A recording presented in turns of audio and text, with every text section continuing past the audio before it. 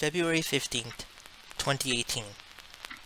It began like any normal day would, but for Gravity Falls fans, it was an important date.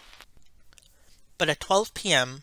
on February 15th, as fans marked the two year anniversary of Gravity Falls' end, show creator Alex Hirsch would tweet out something that set in motion what I see as the final true Gravity Falls fan event.